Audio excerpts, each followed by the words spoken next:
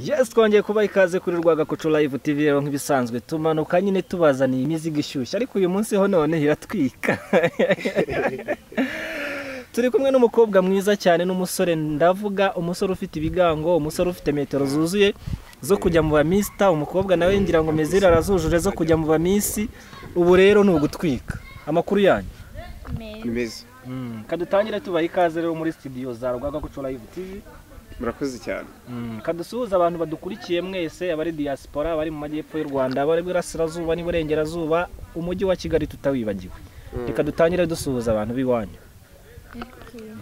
Mbere rwose burya ujya gutera uburezi arabwibana iwacu mu murwa. Eh, mugire gutya mu bapepera ariko mu- Eh, twabapepeye kabisa. Mumeze neza. Tumeze neza. Am- ndumva afite ibintu byinshi byo kubabaza. Nta kibazo turagusubiza natwe. Yes turi tayari mwese uyu rwose. mukobwa ko mbona akonje wapi ntago Eh? nkora Eh, ok kadutangire mutwibwira sasa. Duhere ku mu eh, ladies first niko bajya bavuga. Eh, kaduhere ku mukobwa. Ok njye nitwa umutoni wa segarasi nkaba ndi umukobwa. Yo umukobwa. Ni umukobwa. Ndumva nagukunze ni ukuri wanyemerera urukundo? Uzakanga umuntu ugukunda. Eh? ntabwo wakanga umuntu ugukunda. No washyizeho ka makiyaje keza. Agasatsi bafite ukuntu wagize iyo uze gutyo uragahengeka. Ninde wagusokoje njye wabyikoreye ni we wabyikoreye Ego. wo uri umuhanga kabisa. Mesi. wambaye neza amaherena udukomo twiza Eh? thank you. Inyogosho nibagiwe ukuntu bayitaga. Nimba ngari n'iki n'iki. Ubwonko bwanjye niba nkoresha jigabayiti imwe niba ari kilobayiti Eh. janete harya wari umbwiye? Umutoni wa segarasi umutoni wa segarasi kilobayiti tuguhaye ikaze murakoze. Katujye rero ku mugabo. Eh, murakoze. Nitwa bosco sengiyumva bosco sengiyo Eh, ariko munzi nkawe dewisi. We turasanga mwe hano lewis. Uyu Eh. munsi naravuze ngo mugomba kugaruka. studio- izi studio yes kabisa. Nari nanabemereye ko nzabazanira igituku. Mwakibonye rero. Kabisa igisupu Umukobwa wawe mujya mukina na filime. Mm. mwese mumeze neza cyane. Cyane. Ariko ugiye uko wamuvugaga siko namubonye. Mm. uyu mwana arakeye kabisa. Eh, umwana arakeye mba naratanze ibishoro. Cyane ko cyane ko wambwiye ko ari n'umukobwa wawe Eh, ni umukobwa wanjye. Ubundi hari ibyo umubyeyi yigomwa kugira ngo abana base neza. Cyane. Eh, hari ibyo nigomwe kugira ngo ase gutya umu- mumubona muri ya filime yitwa Alice. Ni Alice. Uyu ni we Alice nyakuri uyu ni we Alice nyakuri muri kubona imbere ya kamera.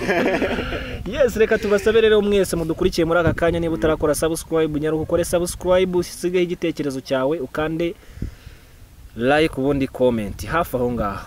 Niba ushaka ko nanone tukwamamariza ibikorwa byawe niba uri umucuruzi niba ufite izindi mpano zitandukanye twandikire kuri zeru karindwi umunani kabiri rimwe icyenda karindwi gatatu gatatu gatanu ubundi tujye tubana gatanu kuri gatanu. Mm, muri abakunzi bakadasohoka rero niyo mpamvu tugenda tukabazanira abantu b'ibyamamare nk'aba ngaba bakina amafilime amakomedi abahanzi yewe n'abandi bantu bakora ibintu byinshi bitandukanye. Turi kumwe na Lewis turi kumwe na umutoni wa kintu.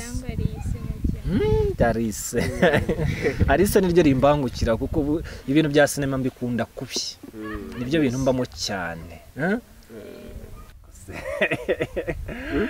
yes rero ubushize twakoranye na Lewis dukorana n'umusore bita Rusake ariko nawe uyu munsi ntaducika. Eh eh Eh, wacu. eh. eh ni boss wacu. Bosi wanyu mukuru. Eh ni Aya wacu mukuru. aratwika eh ariko harya direde ziri ku mutwe buriya ni zingahe mwari ni- ntago zirenze cumi n'esheshatu. ngo ntabwo ajya ziryamisha ngo nta ya- yarambwiye. Zihora zisongoye. Yarambwiye Eh. ubundi wari wabona rusake isunzu ryayo ryacuramye ntabwo bishoboka rwose. Eh, uzibaze neza ntabwo zirenga cumi n'esheshatu. Nazo sinzi uko zigeramo. Ariko tu Alice Eh, ubundi ibintu bya filime wabyinjiyemo gute? Ese aba bantu mukorana mute? Um, ibintu bya filime rero mu busanzwe ntaranabyinjiramo ni ibintu nkunda. N'abo dukorana ubu aka kanya nyine dukorana neza ni inshuti zanjye nyine ibintu ni byiza ndabyishimira Yego. ariko ndagira ngo tubwize ukuri. Ufite isoni umukobwa w'umutima utuje Mm. ni ukubera iki? Buriya nta soni mfite niko uri kubibona. Wapi? Ufite akajwi gatoya. Mm. niko mvuga. Niko wivugira.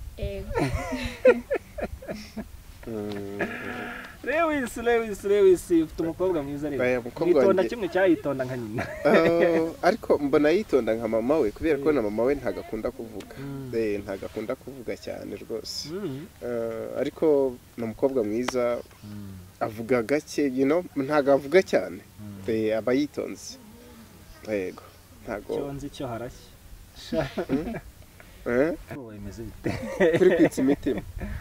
Hanyuma se lewi. Yes. ah, ubu ngubu ushize twasize mutubwira ko hari indi filime iri hafi gusohoka yaba yarasohotse? yarasohotse.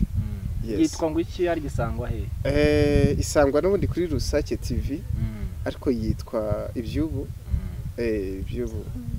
Ibyubu. Eh, Yitwa ibyo hanze you know ni byo hanze. oh sorry. Ariko yes. Ndagira ngo tubwire hari ikibazo mperutse kubaza umwe muri bashiki bacu. Yego. Bita solange. Yego. Uramutse ubaye uwo guhitamo igihugu cyo kuvukiramo. Yego. Wahitamo ikihe gihugu? Eh rero igihugu mvukiramo nkunda u rwanda ndarukunda. Ariko hakaba hari ikindi gihugu nkunda. You know nkunda amerika. Yego. U rwanda ndarukunda ni cyo gihugu cyanjye ariko nkakunda na amerika cyane. Amerika uyikundira iki? Oh, nyikunda ko ni igihugu cyiza na cyo. Eh, you know, ni igihugu cyiza na cyo kimeze neza gisa neza eh, gifite abaturage beza nk'uko natwe nyine hano mu rwanda dufite abaturage beza kandi ari igihugu cyiza. Yego. Ni nk'ibihe bintu nyamukuru bigukururira kuba wakumva ko waba muri amerika kurusha ahandi hantu ku isi? Cyane ko isi Oh. ifite ibihugu byinshi cyane. Yego. Eh, uburyo bajya ku mazi kuruhuka gutembera ibintu byose amazi se ntidufite nyabarongo hariya ntidufite? Yego yego dufite ikivu Eh. tukagira na nyabarongo tukagira n'akagera Eh, tukagira n'indi migezi isanzwe n'ibishanga. Eh, n'akanyaru mm, ariko ubundi ku nyanja you know, uh, ku nyanja hari amazi yo ku nyanja aba atandukanye n'aya mazi du- dufite ahangaha Eh, urumva rero ntago ni ni icyo ngicyo cya kiba kiru- kirushaho. Ese mu rwanda umugezi munini dufite ni uwuhe? Eh, um, ni kivu. Kivu buriya ni umugezi? Eh, umugezi dufite mu rwanda ni akagera. Eh, ni akagera. Mutoni yego. ikiyaga kinini dufite mu rwanda ni ikihe? Ah, ikiyaga.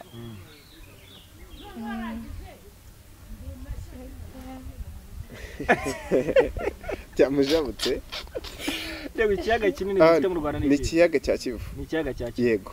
Mu rwanda dufite ibiyaga bibiri by'impanga. Waba ubizi? Oh, no twarabyize kera ariko ntabwo naba nkibyibuka ni Mm. kera hashize igihe. Ibiyaga bibiri by'impanga? Eh, biba mu majyaruguru? Ah, ntabwo naba ntabwo nkibyibuka waba Ah, ntabwo naba muto nkibyibuka ntabwo waba uturusha ntuheruka ku ishuri vuba. Ntabwo njye ndabyibukara ndaza kubigusubiza nyuma ya kamera Eh, arabiguha nyuma ya kamera ya niba udukurikiye ukaba uzi ibiyaga bibiri by'impanga dufite mu rwanda andika muri comment comment, tubwire ngo ni ibi ngibi rwose aho ngaho uraba udufashije cyane mutoni byamujabutse uyu musore nawe uri hano nawe ngaheruka ku ishuri Eh, kera ntabwo naba nkibyibuka rwose hari ibintu by'amashuri rero byaje muri iki gihe bavuga ko twari dusanzwe tuzi ko umwana yiga yatsindwa agasibira. Yego. Ariko haza kuza sisiteme yo guterura. Yego. Nushaka kuba ufite atanu ku ijana nushaka kuba ufite icumi ku ijana n'abiri. urimuka. Yego. Ibi bintu mubyakira gute? Cyane cyane nk'urubyiruko mukiri batoya. Ah, birakwiye babikomeze bimeze gute? Biriya bintu ntabwo bikwiye. Mm, kubera ko umwana dukeneye example niba hari abarimu ubu. Mm, abo ngabo bari guterura gutyo nabo bazaba abarimu. Mm, ubundi nimba example ntarinzi ntazi wenda eh, imibare cyangwa icyongereza cyangwa ikinyarwanda. Mm, noneho nkarangiza ya mashuri kubera ko baranteruye. Mm, noneho mbaye mwarimu. Mm, nimara kuba mwarimu nkajya kwigisha ku kigo bazampa ya masomo ngo nigishe ya masomo nanjye ntazi. Ah, nanjye bya bindi ntazi ni byo nzaha aba bana ndimo kwigisha. Ubwo urumva nabo bakomeze bazamuke urumva nta burere nta nta ntabyo rwose ntabyo. ntabyo Ntabyo. bi- bazabikureho umwana ubundi yasibiraga kera ni nawe nyine yazamuka. Example nimba twakoze examen uyu munsi. Mm, noneho tugakora egizami y'ikinyarwanda. Kikansinda ejo nzagaruka noneho hari ukuntu ba- basubiza ku kibaho ugahita ubona bya bintu bya bintu wishe. Ugahita ubimenya. Ubwo rero nuhita uzamuka nyine utagize udasubiye muri ya bya bindi wishe ngo ubimenye urumva uzazamuka n'ubundi nta kintu uzi. Ariko niwasibira nu- numara gusibira. Bizahita n'ubundi bya bindi watsinzwe uhite ubimenya kubera ko wagarutse inyuma urongera uriga. Abazamuka rero uh, hatarimo ibi byo gusibira ntago rwose. Nta kintu kiri nta kintu cyazavamo. Wasangamo mu myaka iri imbere nta kintu dufite. Twagiye kwa mutoni. Mutoni hari ibintu byigeze cyane cyane ikintu cyitwa uburinganire. Eh, uburinganire waba ubuziho iki? Uburinganire? Ah, nyine uburinganire nyine numva- ari nko kuzuzanya nyine. Wenda ni uburinganire n'ubwuzuzanye eh, nyine nk'umufasha wawe cyangwa umutware wawe. Nyine mukaba mwakuzuzanya muri byose. Nimba wenda mwicaye nko mu rugo umugabo nyine navuga ati ibi ni ibyawe ntabwo njye nkwiye kubikora. Cyangwa umugore nyine mugafashanya nyine mu kuzuzanya. Ku buryo umugabo yagenda agacana imbabura agateka. Eh, akaba yagufasha guteka. Ntabwo ari hari ukuntu nyine bafata nk'inganzwa ngo ngo yamugize inganzwa cyangwa agafurana twatumye n'iki n'iki rero arakubwiye ati n'utwo tuntu. Eh, Byose. nyine murafatanya nyine muri byose mu kuzuzanya. Nyine ibintu bikagenda neza. Ariko aho ngaho nanjye hari ikintu ntemeranya nabo n'abariya nimba example ubwuzuzanye burahari ariko ntago mu- muri uku kuzuzanya wenda naba nicaranye na Alice akambwira ngo jya gusekura ubugari kubera iki zitabusekura nasekure wenda wenda nasekure example wenda aba- abagabo ba- nibo bafite ahubwo imbaraga uwo mugabo ni we na byo wagakwiriye gusekura. Eh, umva. Na wenda turicaye ushobora gutya gusekura ngo abandi guteka imboga. Oya we- wenda turicaye gutya. Ngo ujya gusoroma imboga kandi ibyo ngibyo tuzi ko ari iby'abamama. Mbese ari uzisoromye wabirya. Oya umudamu yicaye aha. Huye n'abandi gukora ibindi oya rero hari ababa bicaye nk'uku nguku akanyohereza ngo wenda nyine ibyo si ibyo ariko nyine ni icyo navugaga ni ubwuzuzanye nyine nyine. ubwo bwuzuzanye buba bukwiye kumvikanwaho. Example nimba Alice ari madamu nkumvikanaho na Alice ibyo tugiye gukora. U- umugore ntiyumve ko bari hejuru am- am- ambwire ngo ujya gusoroma imboga. Asigare yicaye. Ahantu rero naganishaga cyane cyane Eh. urabona ngira ngo mu bizamini bya leta mwese mwagize amahirwe yo kubikora. Yego. Hari ukuntu bagiraga gutya wenda nka za toronkome cyangwa se wenda sinzi na pirimeri niba byarakunze kugenda. Mhm. abana bakiga bagakora ibizami ariko bahagera mu gihe cyo gu- cyo gufata abana bagomba ku- kurihirwa na leta cyangwa se kujya kwiga mu mashuri ya leta. Yego. Ugasanga hari ukuntu bafavorije abakobwa Eh, bagafatira ku manota makeya. abahungu bagafatira ku manota ari hejuru. Yego. Icyo kintu mwakinyuzemo murakizi. Yego. Mbese ibyo bintu n'uburinganire twigishwa buri munsi mubona bihura hariya harimo ubusumbane. Eh, Eh, harimo ubusumbane. Eh, cyangwa nk'ibi ngibi byo kuvuga ngo abakobwa eh, nimba bafatiye kuri mirongo ine n'atanu mm, abakobwa. Mhm. ngo abahungu barafatira ngo kuri makumyabiri n'angahe. Biriya na byo ntago. Ahubwo abahungu bafatira hejuru. Mm. you know, aba- abahungu bafatira ku manota ari hejuru abakobwa ku manota make. Bajye banganya amanota. Kuko twe- twese twebwe twese ntituba twize. Nk'uko twiga uburinganire n'ubundi na byo bikomeze mu buringanire n'ubundi. Bareke kuva hamwe uburinganire ahandi ah- ahandi ubusumbane. hahite hazamo noneho wasanga ni nka kwa kundi waba uri kubaka itafari ariko ntushyireho nivo neza. Yes kandi iyo udasizeho nivo neza n'ubundi biragaragara. Yes aho ngaho bazabikosore ntago ntago bikwiriye.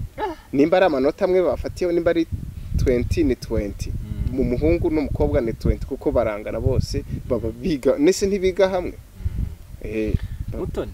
Eh, nkurikije intuzi ukuntu umeze muri iyi minsi ndeba ukuntu ukeye nta kibyihishe inyuma buriya. Nk'igiki se nta muterankunga ubyihishe inyuma. Afite abasponsa Mm. wapi? Mm. Mm. ubu uri aho tu gusa. Si si ibintu bisanzwe murabyikorera umwana wanjye nanjye hari igihe kigera. Abana bamaze gukura ubonye ukuntu agira- ikiganza gutya Mm. turebe ongera- Eh, biriya eh, yagize oya gutya nanjye kubera ati mwabibonye abajamati do nta kintu kiriho da mwana wawe urasa neza rwose pe nanjye. Ongera turebe. Mm, ongera ugire gutya turebe. Ntabwo nabishobora ariko narumiye ko kuba apfuye yarihuse. yarihuse. Eh, niko bajya bavuga mu kinyarwanda cya ngo yarihuse. Eh, ngo yarihuse wapfuye. Rero? Yes. Mu minsi tumaze tudahura. Yego. Ni akahe gashyi dufite ino Eh, eh, se agashya ko muri iri zuba. Eh, cyo kuza hari izuba ryinshi. Ubusa nawe riri kukugeraho eh, nanjye rirangeraho ufite cyane. umukobwa mwiza gutya? Eh, mukobwa ariko bajya banzanira akantu. Uko wajya no mu kabari ukanywa. Nkunda kugenda nkunda kugenda. Eh, nagenda umuntu akangurira akantu. Ufite umukobwa mwiza? N'iki n'iki kandi rikonje. Bakunda kungurira akonje nkayanywera ku mukobwa wanjye. Ubwo rero ne- ninikangana mutanze ku ikesi. Na- ushobora kuzamutangira mu kabari. Cyane rwose nka- Ba- nkabyibagirwa kubera ko inkwano ubu ntumaze kuzimaramo. Uh, feedback ngenda mbona uh, eh, n'ayo macupa eh, n'igiti kigezweho muri iyi minsi. Igiti tu. Eh, mbwira ati uzampuze na mukobwa wawe. Eh, nkavuga nti eh, nzamu- n'iki nkavuga ati sisi kwa kundi nyine sikakana ubwo nyine agakonje kaba kageze aho ngaho. So hari ibintu bimaze rero kuba akamaramanza yego. Ugasanga urubyiruko rwinshi umuntu ageze mu myaka mirongo ine. Yego. Ni umusore niba ari umusore niba ari umuhungu Mm, ntarashaka. Mm, ikibazo cyabaye kashi. Yego. Ikibazo ni kashi. Kandi waganira n'abantu bakuru bakakubwira bati mwana rwose Mm, ntabwo kashi ari zo zubaka urugo mm. Oh, yes kashi nizo zubaka urugo shingirayo muvuga Yego. ikibazo ibintu byaranze ntimushaka Eh, kashi nizo zubaka urugo Mm, nta kashi ufite nta rugo ese urwo rugo urekeye aho muti ibyo bintu ni byo ari kuvuga Um, wenda nyine n'amafaranga aba akenewe ariko Mm. ntabwo ari byo washingiraho cyane Mm. Eh, ibyo washingiraho ni nk'ibiki ndetse urumva Mm. nta ruku- hari ukuntu umuntu aza wenda afite amafaranga sibyo akumva ko yagusipendingaho amafaranga nyine nta rukundo. Akumva ko nyine nagushyiraho amafaranga bihagije. Kandi ntabwo ibyo ari byo biba bikenewe. Ubundi umuntu afite urukundo siko wenda nta mafaranga afite. Amafaranga ni ibintu bishakwa. Ntabwo rero amafaranga ari umuntu ikintu yashingiraho cyane nyine ku ibyo ngibyo. Ubaje ari sawa kintu nta kibazo saa nyine ashobora kuza nyine nta mafaranga ariko afite urukundo. Urwo rukundo rero twembi dufatanyije. Just na wa wundi uba ufite amafaranga ntabwo aba yarayavukanye yarakoze nyine kugira ngo ayagereho. N'uwo nguwo rero azakora agere aharenze nyine agire ayo mafaranga. None umenya ute ko afite urukundo? Ndi gusubiza ko mwavuga ngo wenda bishingira ku mafaranga. Yes, eh, ok reka nkwibariza akabazo. Yego. Ufite umukobwa mwiza nk'uyu? Yego. Umujama akaza bisonge Mm, nta kintu yibereyeho rwose nta nta kantu yibereyeho ni nyagupfa mm, yego yego. Akaza akubwira ngo yakunze umukobwa wawe rwose na Mm. gahunda arayifite yo kujya gushinga urugo. Mm, Hmm? mm, cyangwa umukobwa ni we uje kubikwibwirira igihe kikagera akanamuzana. Yego. Akaza ukamubaza ufite akazi jama wapi? Nta kazi ndacyashakisha. Mm, warubatse se reka da tuzakodesha. Mm. wamuha umukobwa wawe? Eh, ubundi aho ngaho ubundi bigera ku babyeyi hari ahandi byabanje. Eh, nibo baba babyiyumvikaniye yego nibo baba babyumvikaniye. Ariko icyo ndi kuvuga aho ngaho umubyeyi umubyeyi ahora yifuriza abana be ibyiza cyangwa umwana we ibyiza so uwo muhungu uwo musore reke kuvuga umuhungu ashobora kuba nta nta kintu afite nta kantu afite. Mm. you know? Ntabwo ari we wenda wabyikururiye ntabwo kuko ibintu iyo bishatse biraza. Mhm. Eh, ibi bintu bishatse biraza. Ariko umukobwa wanjye adashaka kunyumvisha ko kashi atari zo zubaka kashi zirubaka. Kubera ko udafite kashi ntabwo wabona ya ya mafaranga yo gukodesha iyo nzu. Arimo avuga ko urimo uvuga ko cyangwa uri dadi wawe bakodeshereza. Eh? oya nanone ubakodeshereje gutyo u- umusore ara- asuzugura umukobwa wawe. Umusore? Eh, uwo mugabo we aramusuzugura. Eh, akamufata n'aba nta kantu yibereyeho. Oya? Eh, aho ngaho abasha gukora abasha gukora aka- akakabona. Yes abasha gukora ku buryo akakabona wa- wakwemerera umwana wawe ukamushora mu muriro. Akajya kurya ubusa akarenzaho amazi. Nibyo nakubwiye. Nibyo nakubwiye iyo iyo bamaze kubaka nabo ntabwo baba ari abana ba- ba- bakura amaboko mu mufuka bagakora ba- bagashaka. So ashobora kutabona agura indege n'iki ariko ayo kurya ntabwo yayabura. Nese utarayakuye mu mufuka akiri umusore ngo aze gushaka umukobwa afite akazi azayakura mu mufuka ari uko noneho yabaye umugabo. Eh, akeneye guhaza igifu ni, cy'agahaza ni, hari ikibazo wambajije mu kanya ngo bagera mu myaka mirongo batarazana abo badamu babafasha. Nuko nyine ababona ko nta bushobozi afite kandi aho kugira ngo nze mfate nk'uyu mukobwa wanjye urabona uko ameze. Nze mufate mujyane nzi neza ko nta kintu mfite. Nzi neza ko nibwacya tuzaburara nibwacya bizagenda gutya. Na njyewe naza nka ndimo kumutereta nkabanza nka- nkamubwira uburyo njyewe meze. Nkamubwira ukuri kwanjye kose kubera ko abasore basigaye babeshya. Eh, abasore bara- basigaye babeshya akaza aka- nkakubwira gutya na gutya nkamubwira ibintu byinshi. Kubera kwa kwa hari ukuntu aba- aba- abana b'abakobwa batekereza hafi. You know, agatekereza hafi aho ngaho ntatekereze kure ntatekereze imbere hiwe. Eh, we agatekereza hafi aha ngaha kubera ko ndi kumubwira ko mfite ibi n'ibi n'ibi we akagenda kuri ya magambo ndi cyane niyo kumubwira mpamvu mwisangiye abakecuru. Sha abakecuru Eh. bafite kashi Eh, oya ntabwo ariyo ntuze kube- kubera ko ndi kuvuga ko uh, urubyiruko urubyiruko rusigaye rubeshyanya eh, ntago nta kuri kurimo. Ariko kuri kurimo n'izo kashi n'icyo kintu n'ibyo byose ntabwo byabura. Eh, ubundi iki- ukuri niko kuzima. Muto. Oya, umusaza w'imyaka mirongo itandatu yagushaka. Afite kashi afite buri kimwe akagukubita na, na gifuti y'imodoka. Icyo gihe naba nkurikiye amafaranga ngiye afite gushaka n'urukundo. Afite n'urukundo. Mm.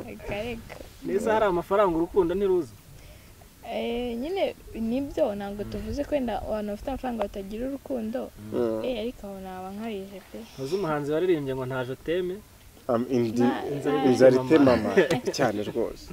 Eh? Mm. oya ntabwo njye namushaka yes. Umukecuru w'imyaka mirongo irindwi mwa- mwajyana ntaribo Uh, uwo nguwo yaba ari kaka wanjye. Yes, ntabwo byakunda. Ko muri iyi minsi se bigezweho? Bigezweho ariko bite- biterwa n'imitekerereze y'umuntu ku Eh. giti cye. Kubera ko abantu uko dutekereza biratandukanye. Ubu ngewe uko ntekereza nawe biratandukanye. Yes ntabwo nese umu- muka perezida ntabwo umuzi yego ndamuzi. Nese umutipe bashakanye afite imyaka ingahe? Oh. Yize 25 buriya yari afite nimba mbyibuka neza yari afite makumyabiri na kane. Makumyabiri n'ibiri yego Eh, yari muka afite perezida ntafite nka mirongo itandatu. Eh, yes. Yari afite muri mirongo itanu na gutyo ruriya ni urukundo. Buriya buriya nyine ni kwa kuri nakubwiye ko nanone urukundo rujyaho rushaka. Mbese rwagiye kwa muka perezida rwagiye kwa muka perezida Mm, rujyaho rushaka rwose. Kuko Eh, nshobora guhura no wenda n'um- n'umuntu nkamukunda mm. eh, ariko abantu bakarushaka. Buriya uru- urukundo rw'uriya mutipe rwagiye kwa muka perezida Mm. Kuko nyine ni byo nagusobanuriraga nshobora kugenda hano nkahura n'umukobwa nkamukunda n'umutima wanjye wose. Ariko abantu bakambwira no uriya muntu wakunze wapi? Ariko ngiye nkumva mukunze. Mm. yes. Ntabwo biba byoroshye. Ntabwo biba byoroshye. Mm. ni urugamba. uwase nawe ati reka reka ntabwo umusaza namwiteza. Kandi abana muri iyi minsi ni byo baharaye Mm. umva Yeah. usanga ari kumwe n'igisaza ki- kingana na se ari cyo ari kugikabakaba mu bwanwa. Ariko ijya we yanamukunze da? Wasanga ujya wibeta nubwo utubeshye wapi? Mm, ese ufite umusheri? Um, nako ufite abasheri. Eh icyabashiriza Eh, wapi? Afite se waba ufite umwe? Mm. harimo mba kugira benshi. Eh, abana b'i kigali ko nabonye basigaye bacanye ku maso. Eh, bacanye ku maso cyane. Ni umwe ntabwo yaba ari benshi. Mm. se benshi? Uwo mwe se arahari? Ari? Mwana wanjye. Amerika iri ku wuhe mugabane?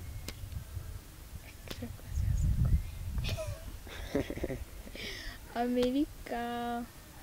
Hajya bari kubona mugabanira ugeze kuri mbaza nyuma ya kamera umugabane wa amerika. Ku mugabane wa amerika n'ubundi iherereye heza muri amerika nyine si si amerika oya nyine ure kumerekeza kumerekezaho Mm. iburasirazuba iburengerazuba amajyaruguru amajyepfo. Hajya burasa amajyaruguru. Ra cyangwa reba byiza iherereye he ko ari we watubwiye ko hakunda ndahakunda ndahakunda ndahakunda ariko keretse iyo mfite karte nkareba ku ikarita icyerekezo cya yesu. Ugereranyije n'u rwanda aho ruri se wumva yaba iherereye yaba iherereye nko mu majyaruguru maybe. Mu majyaruguru Hmm. uzajya ahantu utazi uzayeba icyo nzi amajyaruguru iburasirazuba Eh? maybe ko ari hanyuma iburasirazuba sorope yaba iherereye kubera ko uretse tureba Mm. Amerika iherereye gutya? Iburengerazuba? Iburengerazuba niko ndimo numva Eh, ni iburengerazuba. Ni iburengerazuba. Eh wagatoye rwose. Ni iburengerazuba. Kuko njyewe ubundi iyo tugiye ku kiganiro cyaho Mm. bihita bihinduka muri bihita bijya muri Mm, amerika. Bihita bihinduka rwose. Ntabwo biba Eh, bikiri mu rwanda. Mm, ariko South- nzajyayo, South Africa iherereye he? South africa. Muri afurika y'epfo. Muri afurika y'epfo nyine ako se wowe muri afurika y'epfo. Afurika y'amajyepfo. So reka tubashimire cyane tubasaba mwese aho muherereye abari mu rwanda abari hanze muri aziya muri Yego, erope yewe no muri amerika. Mukomeze mudushyigikire mukora subscribe like ndetse musigaho n'ibitekerezo byanyu. Duhita tubisoma muri ako kanya.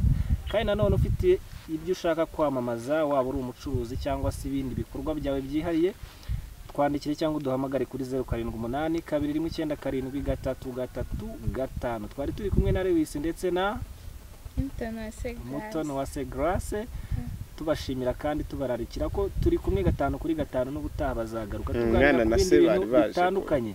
Gusa dusoza Eh, nibagire icyo batubwira babwira abafana babo bakunda filime bakina. Ah, wenda nihereyeho abantu bankunda ntabwo bose mbazi ntabwo ndahura nabo. Ariko nyine abantu bose aho bari ahantu hose baherereye ndabashimira nyine. Bagumye badukurikiye badushyigikire nyine baturebe kandi bakomeze kudukura natwe turabakunda cyane natwe cyane. turagukunda cyane. Yeah. lewis. Yes. Mm, Eh, nk'ubusanzwe mm, aba- abadukunda. Mm, duhora tubashimira nk'ibisanzwe. Mm. Kubera ko nta kindi wakora kitari ukubashimira. Barakomeye cyane. Yego turabashimira cyane cyane kubera ko umuntu ufashe umwanya akakureba ndetse akagushyiraho n'umutima wo kugukunda. Buriya gukunda ni ikintu gikomeye cyane. Yesi gukunda ni ikintu gikomeye cyane kuruta no kureba. Mm. ya turabashimira rero kandi tubaha agaciro cyane. Cyane. Sawa rero bye bye. Ibiganiro byacu nakagaruka kanda subscribe ni ijambo ry'umutuku rihita rihinduka umweru. Yes. murabeho cyane. Bye bye. Bye. bye. Yes. Wow.